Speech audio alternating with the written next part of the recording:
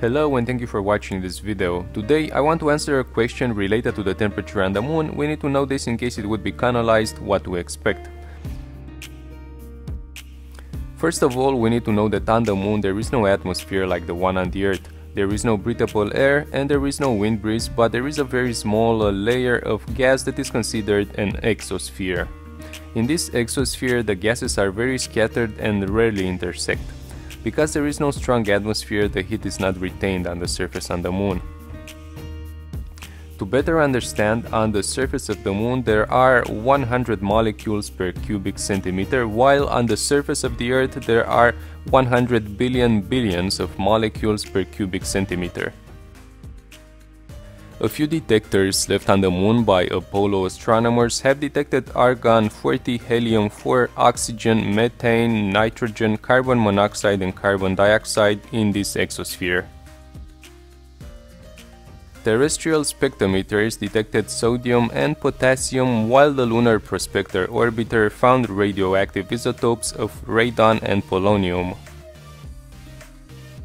Radon is a dangerous gas, it causes death, causing lung cancer, is found in the soil, rocks and water on the ground.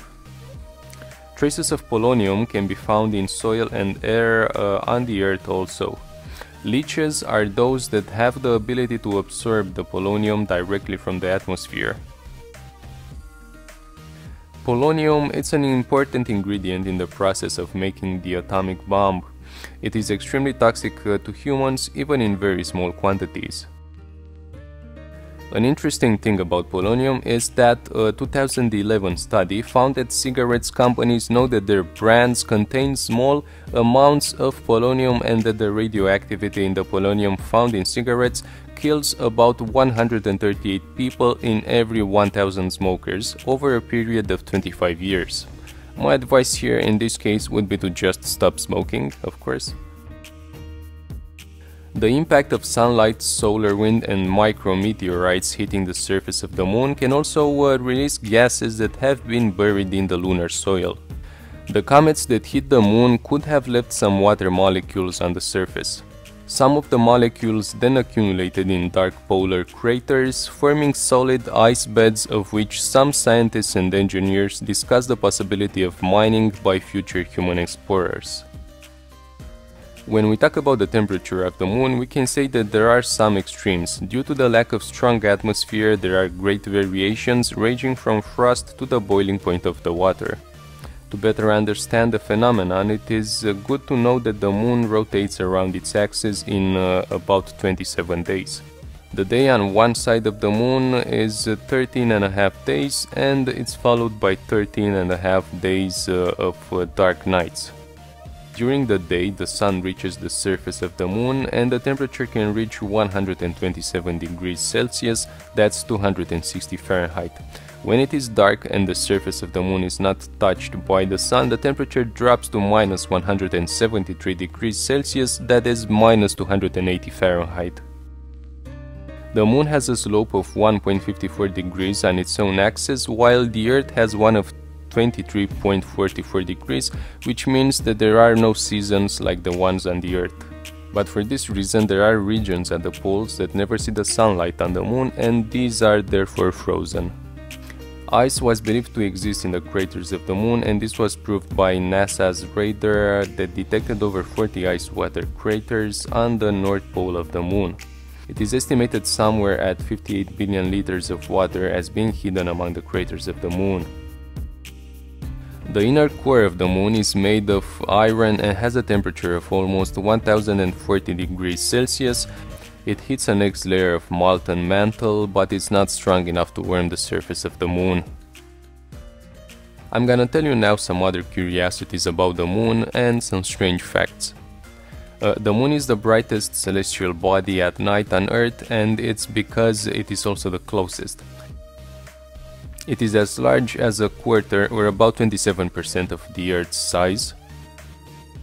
The diameter of the Moon is 3,475 kilometers and the circumference of the equator is uh, 10,900 kilometers. The total area of the moon is 38 million square kilometers, which means a smaller area than the total area of the Asian continent, which is 45.5 billion square kilometers. The weight of the moon is 81 times smaller than that of the Earth and in terms of density of the moon it is the second from the solar system after the moon of uh, Jupiter called Io. When the moon was first formed, it was 20 times closer to the Earth and covered about half of the sky during the night and uh, because it had experienced many clashes with other bodies, the moon had volcanic eruptions, it was hot and in areas where it was cold, it started the basalt rock to be also formed.